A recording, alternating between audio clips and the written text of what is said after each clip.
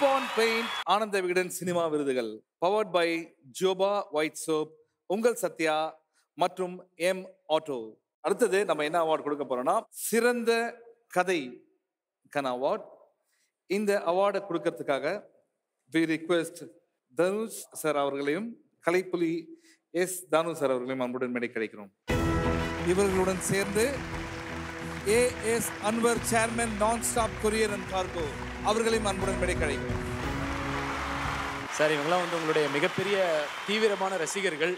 உங்களோட ஃபோட்டோ எடுக்கணும்னு சொல்லிட்டு வந்திருக்காங்க அவங்க. கடல் கடந்து சைதாப்பேட்டையிலேருந்து.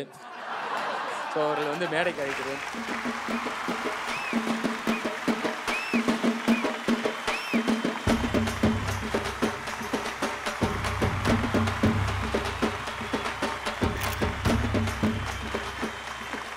சரி தம்பிங்களா?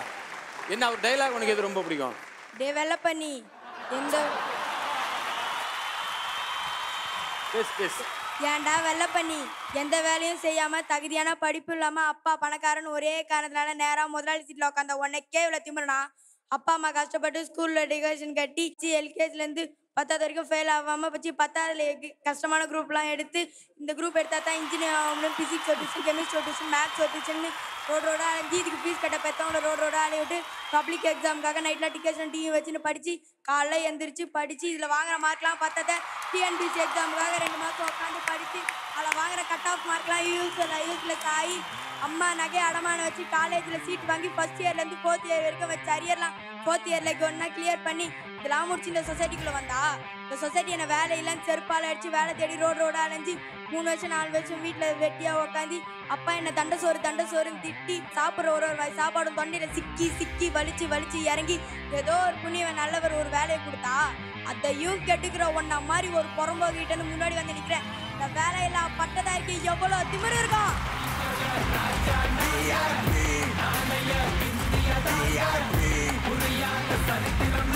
நீ இந்த டைலாக் எவ்வளவு நேரம் மனப்பாடம் பண்ண? ரெண்டே நாள். உன் சயின்ஸ் புக் என்னைக்கா அந்த மாதிரி படிச்சுக்கிறியா நீ?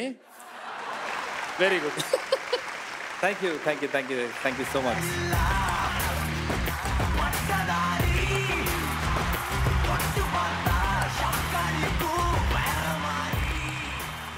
sir இந்த இவ்வளோ சின்ன பசங்க இவ்வளோ ஃபேனாக இருக்காங்களே இதை பற்றி என்ன சார் ஃபீல் பண்ணுறீங்க இறைவன் ஆசீர்வாதம் தான்.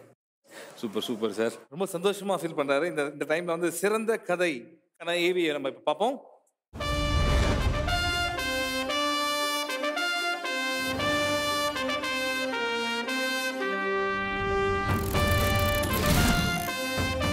இங்கிற பண்ணி மாதிரி என்னை அடிச்சு அடிச்சு வரட்டினானுவ. ஓடி ஒழிஞ்சு போயிட்டேனா? ஆ? அப்புறம் எது அவசியம் தெரிஞ்சுக்கிட்டு பேய் மாதிரி படித்தேன். பரியேறும் பெருமாள் பேசியது பல தலைமுறைகளின் வலி நிறைந்த வாழ்க்கையை. கல்வியே சமூக விடுதலைக்கான சாவி என கனத்த அரசியல் முழக்கமாக முன்னின்றது பரியேறும் பெருமாள். நாளைக்கு எது வேணாலும் எப்படி வேணாலும் மாறலாம் இல்லையா? யாருக்கு தெரியும்? எனக்கு தெரியும் சார். நீங்கள் நீங்களாக இருக்கிற வரைக்கும் நான் நாயாக தான் இருக்கணும்னு நீங்கள் எதிர்பார்க்குற வரைக்கும் இங்கே எதுவுமே மாறாது. சிறந்த கதை மாரி செல்வராஜ் பரியேறும் பெருமாள்.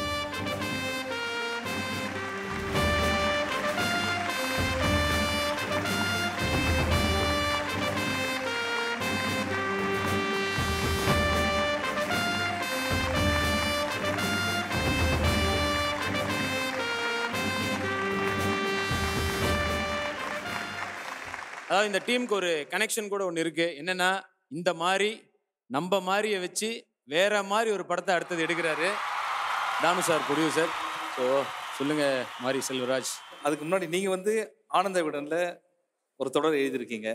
அதை எழுதும் போது எந்த அளவுக்கு ஃபீல் பண்ணிருப்பீங்கன்னு தெரியாது. ஆனா இப்போ ஆனந்த விகடன் அவார்டு சிறந்த கதைக்கான அவார்டு இதை பத்தி சொல்லுங்க. மறக்கவே நினைக்கிறேன். எழுதி முடிக்கும்போது அப்போது அந்த வருஷத்துக்கான சிறந்த கட்டுரை தொகுப்பு விருது கிடைக்கும்னு நான் நினைச்சேன். ஆனால் அது உள்ள விகடனில் வந்ததுனாலே அது கிடைக்காம போயிடுச்சு. ஆனால் அதில் வந்து மத கதை மாந்தர்களையும் கதைகளையும் வச்சு தான் பரியர் பெருமாள் எடுத்தேன். பரியர் பெருமாளுக்கு சிறந்த கதை கிடைச்சதில் ரொம்ப சந்தோஷமாக இருக்குது என்னோடய ஃபஸ்ட்டு ஸ்டார்ட் ஸ்டோரி தாமிரபரணியில் கொல்லப்படாத வந்துச்சு. அதை வச்சு மறக்கவே நினைக்கிறேன் வந்துச்சு. எழுத்து தான் எனக்கு பயங்கர சப்போர்ட்டிவாக இருந்துச்சு. என்னை டைரக்டராக மாற்றினதில் என் எழுத்துக்கு முக்கியமான பங்கு இருக்குது இதுக்கு எல்லாத்துக்கும் காரணமாக இருந்த என் இயக்குனருக்கு இந்த விருது சமர்ப்பிக்கிறேன் ஏன்னா கதைனா அவர்கிட்ட தான் அது போய் சேரணும். எனக்குள்ள வாழ்க்கையை கதையாக மாற்றின ஒரு சக்தி அவர் தான் அவருக்கு இந்த அவார்டை நான் டெடிகேட் பண்ணுறேன் அப்புறம் இவனோட அடுத்த கதையை செலக்ட் பண்ண ரெண்டு பேர்கிட்ட இருந்து இந்த கதை சிறந்த கதையாக விருது வாங்கினதில் சந்தோஷம். இப்போ இந்த கதையை படமாக்குன ரஞ்சித் அண்ணனுக்கும் என்னோட டீம் எல்லாத்துக்குமே இந்த நன்றி சொல்லிக்கணும் தேங்க்யூ தேங்க்யூ அண்ட் ப்ரோ உங்களுக்காக வந்து ஒரு ஒரு கிஃப்ட் ஒன்று இருக்குது நான் ஸ்டாப் கொரியர் வந்து உங்களுக்காக ஒரு கிஃப்ட் ஒன்று கொடுக்குறாங்க.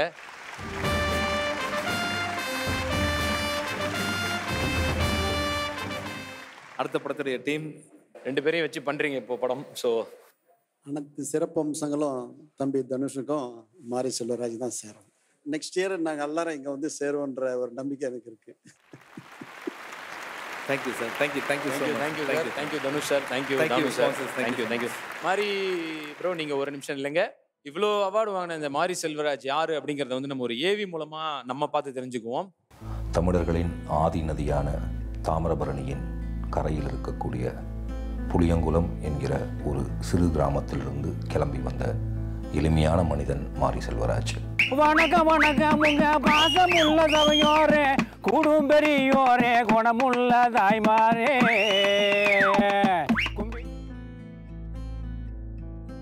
படம் பார்க்க போகாம பாட்டி அப்படிம்பான் நான் படம் பார்க்க வரலடா பாரு அப்படிமே அவனை சொல்லியிருக்க தான் செய்யுது அதெல்லாம் நினைவு இருக்கே செய்யுது சின்ன வயசுலேயே அவருக்கு வந்து இந்த கதை எழுதுறது ரொம்ப பிடிக்கும்.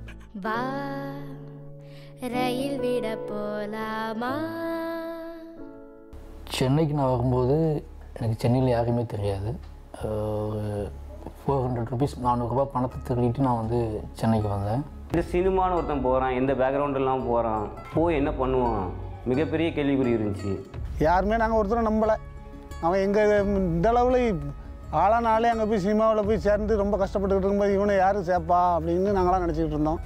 புளியங்குளத்துலேயே நம்பலை யாரும் இவன் எங்கே வரப்போகிறான் அந்த காக்கேன் அப்படின்னு தான் எல்லாரும் சொல்லுவாங்க. கிட்டத்தட்ட ஒரு ஏழு மாதம் எனக்கு என்னென்ன வேலைகளுக்கான வாய்ப்பெல்லாம் கிடைச்சிச்சோ அதோட எல்லா வேலைகளையுமே நான் பார்த்தேன். பெட்ரோல் பல்கில் அந்த ஓரமாக போய் படுத்து தூங்கினான். அந்த ஓனர் பார்த்தா ஏசுவான். அதனால் கொஞ்சம் தள்ளி ஓரமாக அந்த கேஸ் அடிக்கிற இடம் இருக்கும். அதுக்கும் அந்த காம்பவுண்டுக்கும் நடுமத்தில் இடையில படுத்து கிடந்து எனக்கு ஃபோன் பேசிகிட்டு இருப்பான். அவன் என்கிட்ட விடிய விடிய ரொம்ப நேரம் பேசுகிறனால எனக்கு தெரியும். அவன் சாப்பிடல அப்படின்னு எனக்கு நல்லாவே தெரியும். அவனோட பசி அவனோட கஷ்டம் அவனோட இதை எல்லாத்தையும் வந்து பேசியே க கடந்து போனோம் நாங்கள் என்ன கஷ்டப்பட்டான்? அவன் எப்படி வாழ்ந்தான்? அவன் இருக்கானா? இறந்து போயிட்டான்னு கூட என் மனசுக்கு தோணிக்கிட்டே இருந்துச்சு.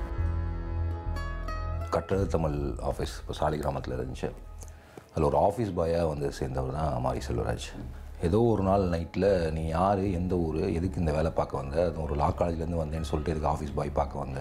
வேலை பார்க்க வந்த? அப்படின்னு கேட்டப்ப என்னோட கதைகளை சொல்ல ஆரம்பித்தேன் நான் எங்கேருந்து வரேன் என்னோடய அப்பா அம்மா யார்? நான் என்ன என்ன மாதிரியான குடும்பத்தில் பிறந்தேன்? என்ன மாதிரியான வாழ்வியல் எனக்கு இருக்குது அப்படின்னு சொல்லிட்டு பேச ஆரம்பிச்சேன். ஒரு இருபத்தி ரெண்டு இருபத்தோரு வயசு பையனுக்கு இவ்வளோ அனுபவங்களாங்கிறது தான் எனக்கு வந்து ரொம்ப ஆச்சரியமாகவும் ஒரு மிகப்பெரிய கலைஞனாக வருவதற்கான கதைகளும் கதை மாந்தர்களும் பார்வையும் அரசியலும் எனக்கு இருக்குது அப்படின்னு எனக்கு தோணுச்சு. அன்னைக்கு அவன் எங்களை விட்டு போகும்போது ஒரு வார்த்தை சொல்லிட்டு போனான். என்னைக்கா இருந்தாலும் சரி இதே மண்ணில் ஜெயிச்சுட்டு தானே நிற்கணும் ஐயா அப்பா வந்து படம் பார்த்துட்டு ரெண்டு பேரும் இருந்தோம். மவன் ஜெயிச்சிட்டான் நீ ஒன்றும் கவலைப்படாதம்மா. ஸோ நம்மளுக்கு சந்தோஷம்தாம்னு அவங்க அப்பா சொன்னாங்க. நல்ல கெட்டி பிடிச்சி அவனை நல்ல முத்தம் கொடுத்து நீ நல்ல பிள்ளையா பிறந்துட்ட.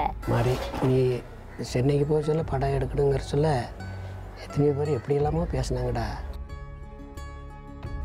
அதுக்கப்புறம் படம் ஓடிக்கிட்டு இருந்து படம் பா பார்த்துட்டு வந்து ரொம்ப சந்தோஷமாக ஆனந்தமாக நான் இருந்தேன். ஆனந்தமாக இருந்து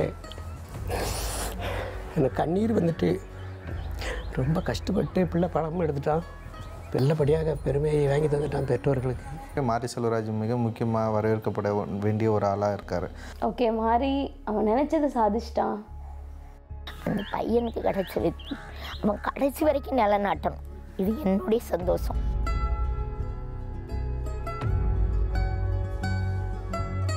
அப்பா அவனை நினச்சி சந்தோஷப்பட்டு ஆனந்த கண்ணீர் வடிக்க நல்லா இருப்பாடா இன்னும் மேல் மேலும் உயர்வடா?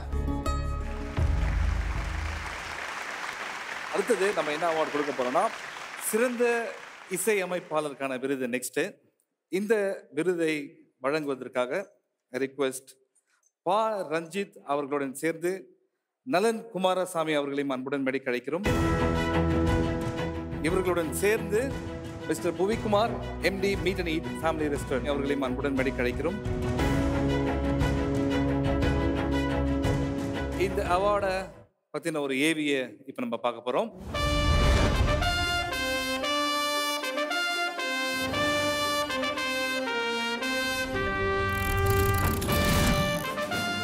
சிறந்த இசையமைப்பாளர் சந்தோஷ் நாராயணன் வடசென்னை பரியேறும் பெருமாள் காலா.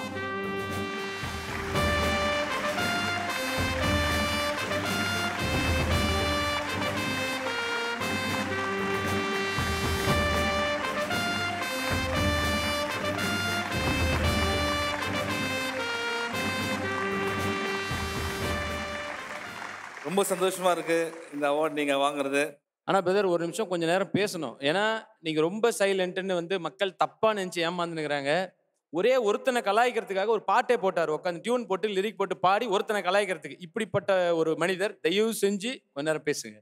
இந்த வருஷத்தில் வந்து இந்த அவார்டு வா வாங்கினது ரொம்ப ரொம்ப சந்தோஷம். ரொம்ப முக்கியமாக நான் கருதுறேன். ஏன்னா தமிழ் சினிமாவில் ஒரு ரெண்- ரொம்ப முக்கியமான வருஷமாக நான் இதை பார்க்குறேன் இந்த அவார்ட் நான் நைன்டி சிக்ஸ் கோவிந்த் வசந்தா கிடைக்கும் தான் நினச்சேன் நான். ஸோ ஆனந்த விகடன்லேருந்து கால் பண்ணி இந்த மாதிரி இன்ஃபார்ம் பண்ணும்போது ரொம்ப பெருமையாக இருந்தது. அதே மாதிரி இந்த மூணு படம் ஒர்க் பண்ணும்போது மூணு விதமான லெஜெண்ட்ஸோட நான் ஒர்க் பண்ண ஃபீல் இருந்தது. ஒன்று வந்து ரஞ்சித் ரஞ்சித் வந்து இப்போ ஒரு மிகப்பெரிய ஒரு எழுச்சி அவரால் உருவாகும்னு நான் நம்புகிறேன் மாரி செல்வராஜ் அவருடைய வாழ்க்கை பயணம் அப்புறம் அவர் செய்ய போகிற விஷயங்கள் அவரோட அடுத்த படம் அவர் பண்ணுன்றதுக்காகவே நான் எல்லா இடத்துலையும் போய் சொன்னேன். செம்மையாக இருக்குது செம்மையாக இருக்குன்னு சொல்லி. நான் வாழ்க்கையிலே அது மாதிரி பண்ணதில்லை. நான் கேட்டதில் ஒன் ஆஃப் த பெஸ்ட் ஸ்கிரிப்ட்ஸ்னு சொல்லலாம். அப்புறம் வெற்றிமாறன் சார் அவரோட வடச்சென்னை ஒர்க் பண்ணோம். அவர் ஆல்ரெடி வந்து தமிழ் சினிமாவை வந்து கரெக்டான முறையில் கரெக்டாக எடுத்துகிட்டு போய் ப்ளேஸ் பண்ண அது ரொம்ப அதுதான் ரொம்ப கஷ்டம். ஸோ இவங்க மூணு பேரோடய ஒரே வருஷத்தில் ஒர்க் பண்ணுற ஒரு பெரிய பாக்கியம் கிடைச்சி. ரொம்ப நன்றி. தேங்க்யூ தேங்க்யூ சண்டே போதுமா? இது போதும் கச்சிச்சு எல்லாமே. Thank you thank you you, thank you so much thank you ரொம்ப நன்றி நன்றி. நெக்ஸ்ட் நம்ம பார்க்க போற அவார்ட் வந்து சிறந்த ஆடை வடிவமைப்புக்கான அவார்ட் இந்த அவார்டை கொடுக்கறதுக்காக request Pooja Kumar Mrs Lijisha Praveen director Nandini sweets and Siruthai Siva அவர்களுடைய அன்புடன் மேடை கிடைக்கும்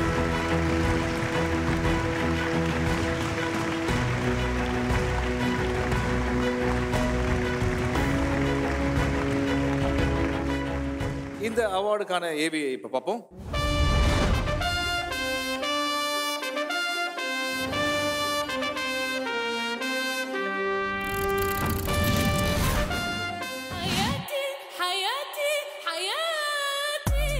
செக்கச் சிவந்த வானத்தின் வானிலை மாற்றங்களுக்கு ஏகா லகானியின் ஆடை வடிவமைப்பு பக்காவாக கை கொடுத்தது.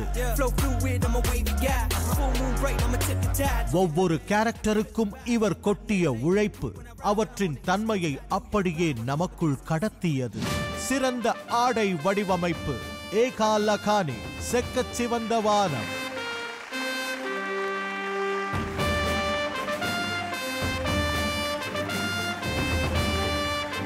இவங்களுக்கு நந்தினி ஸ்வீட்ஸ் வழங்கும் ஒரு கிஃப்ட் ஆம்பர் அதாவது ஒரு படத்தில் ஒரு ஹீரோ ஹீரோயின்கே வந்து காஸ்டியூம் பண்ணவே அவ்வளோ கஷ்டமாக இருக்குமே நீங்கள் எப்படி இத்தனை ஹீரோ இத்தனை ஹீரோயினுக்கு வந்து இதில் காஸ்டியூம் ஒர்க் பண்ணீங்க first off I really want thank Tamil industry for accepting me so warmly This award is really, really special to me because this year I complete uh, 10 years of joining Madras Talkies and working with Mani sir. I started on Ravanan as an And uh, yeah, there were so many characters in the film, and I think that was the best part about it that I could do everything that I wanted to do with every different character. Thank you Thank you so much. Thank you எனக்கு ஃபுல்லாக புரிஞ்சிருச்சு. நான் உங்களுக்கு அப்புறம் சொல்கிறேன் லைட்டாக சிரிச்சுக்கிட்டேன். Thank you so much sir thanks அகில உலக சூப்பர் ஸ்டார் வணக்கம். மீதி பேலன்ஸ் பேமெண்ட்டை கட் பண்ணிடுங்க. இது போதும் எனக்கு.